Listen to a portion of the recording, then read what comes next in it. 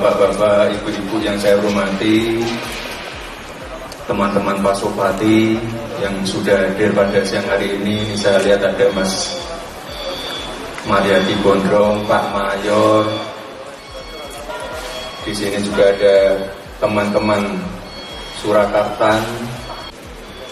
Yang jelas ini sesuai komitmen saya sesuai janji-janji saya pada waktu kampanye dulu yaitu adalah saya tidak akan meninggalkan persis dengan keadaan yang seperti kemarin.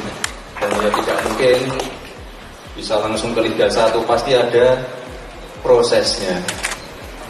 Pasti ada naik turunnya. Ya di situ nanti peran dari teman-teman Pasopati dan teman-teman Surakarta untuk terus mengawal Persis ini biar bisa nanti naik ke Liga 1. Kebetulan saya juga sangat uh, mencintai industri uh, olahraga dan saya ingin membantu uh, mempersiapkan uh, industri olahraga ke depan di Indonesia dan tentu mulainya dengan Solo dan Mas Kaisang, Mas Kevin dan semua supporter di sini.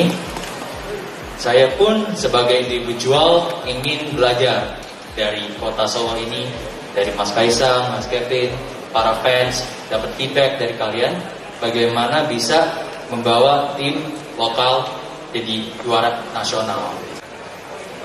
Panas banget. Saya udah keringetan dari tadi. Pak Wali Kotanya ngomong lama banget.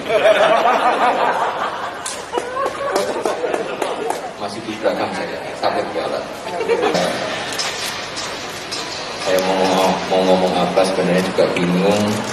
Saya kemarin di sama Pak Kevin saya nggak baca. Cuma komitmen dari saya Persis Solo Liga 1 harga mati. Itu aja saya